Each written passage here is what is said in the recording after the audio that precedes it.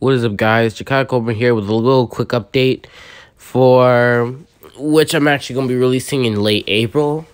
Now, I've been going with projects lately, and of course, I still have to deal with school and all, but but I'm still going to be here. So, the quick little update is is that since this year is the year of SpongeBob's 20th anniversary, um I decided to do something a little special and all this can't really be done. Like literally, this all couldn't be possible without Stephen Hillenburg. May rest in peace. Now, the new now there's actually gonna be like a movie which is actually gonna be released like a little a, about a week early during his 20th 20th anniversary, and the movie is actually gonna be split into seven parts.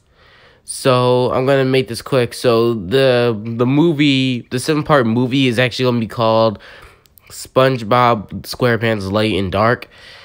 Basically, it's well, obviously like always, it's like a dragon. It's like Dragon Ball Z. Um, if you can see in this poster, um, each character like in their like each character is in their super form. We get SpongeBob, Patrick, Sandy, Squidward, and Mr. Krabs on the left as super people. Well, I guess you want to put Super Saiyans, which I say um super water Saiyans. Who knows? And then on the right, we then have their dark entity are dark entities. Most commonly, we know Dark SpongeBob. We have, and we also have the um, and we also have Dark SpongeBob's friends or acquaintances, if you might put it. And and yeah, we have Dark Patrick, Dark Sandy, Dark Krabs, and we also got Dark Squidward, which is not like the one from the SpongeBob anime.